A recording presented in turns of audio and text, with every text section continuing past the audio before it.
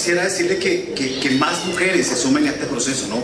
Porque las poquitas que hay están luchando, luchando, pero acuérdense que este gremio está rodeado de hombres sobre todo. Entonces es importante que más chicas se sumen para precisamente que no se quede en las palabras que estamos diciendo. Y otro es que tengamos sentido de pertenencia con nuestras músicas tradicionales.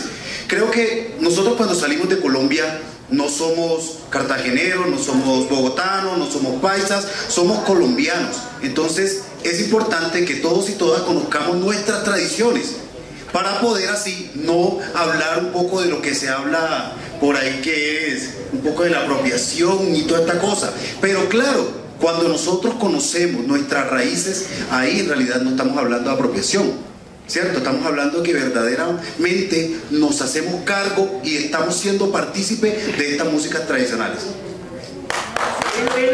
Bueno, queridos amigos, estamos con dos hermosas chicas, cultoras, integrantes del grupo Estamos aquí en Bogotá, en la provincia de Una hermosa iglesia que viene a ver esta agrupación se la recomiendo.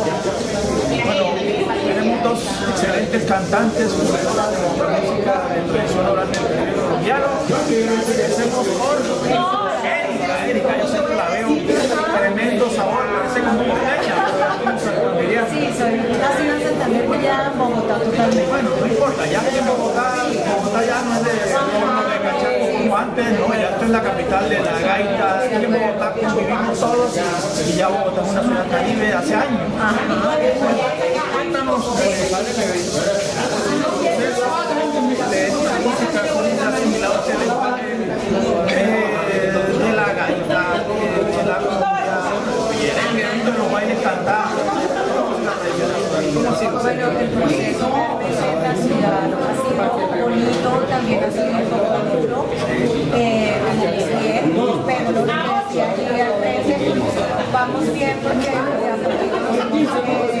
apoderados de las mujeres, ahora las mujeres en.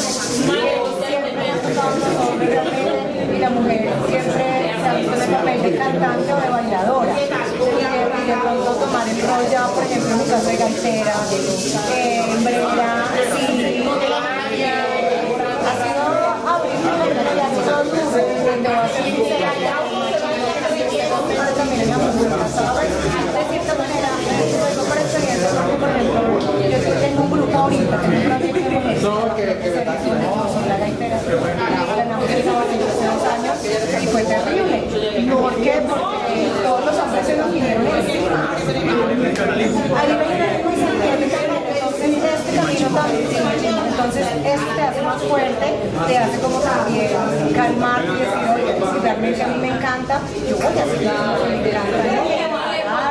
voy a ser constante eh, y antes del grupo de mujeres lo mismo, porque también llegar a tocar, digamos, como nivel como Abelardo, ellos también es tener carácter, tener estudio y mucho amor, realmente pasión. Eso Bueno, miren, esto es testimonio. Yo vivo en Bogotá, no de Santa Marta, pero bueno, eso no es Magdalena, pero vivo en Bogotá, yo soy bogoteño. En Bogotá hace 44 años. Pero sigo siendo bogoteño del Caribe y soy músico en este medio.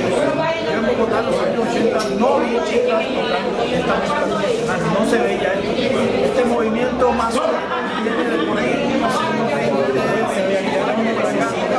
Pero es increíble. Ahora aquí en Bogotá hicieron un festival aquí de la danza coreana. Y es increíble. Chicas jóvenes. Claro que sí. El año pasado también, bueno, que es la maestra que, que se empieza un poco la temporada política. Son chicas, chicas dominan este lenguaje como cualquier costeño. Ya eso de que si hay una bogotana, una santanderiana, una paisa, mentira. Todas estas otras chicas se han apropiado de nuestra música tradicional. Yo prefiero una gaitera, con todo respeto lo digo, que estén tirando por allá. Bueno, quiero decirles que me llevé una gran chicas que yo no tengo que confesar, yo soy fan de ella. Ella no me conoce a mí, pero yo sí la conozco a ella. Yo la vi cuando no sé, bueno, les contaba que yo la veo ella por las redes sociales, ella es igual como Magdalena, la tierra del maestro José Barros. Conozco al papá, ella, ella es más cumbiambera que de baile yo creo. He visto cantar y me parece a mí que es de entre las dos, tres primeras mejores voces que tenemos.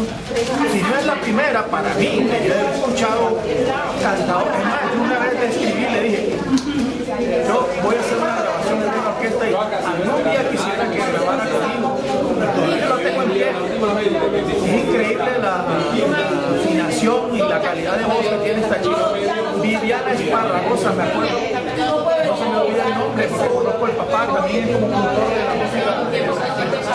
Bueno, hoy aquí, no sabía que estaba en este grupo y chévere que esté aquí en Bogotá porque aquí en Bogotá también se foguea con buenos músicos y todas esas cosas. ¿Cómo ha sido ese proceso, Viviana? Bueno, me imagino que nació allá en el banco con todos esos festivales. ¿Cómo ha sido todo este proceso Bogotá con esta música? Afortunadamente tuve el privilegio de la asociación de la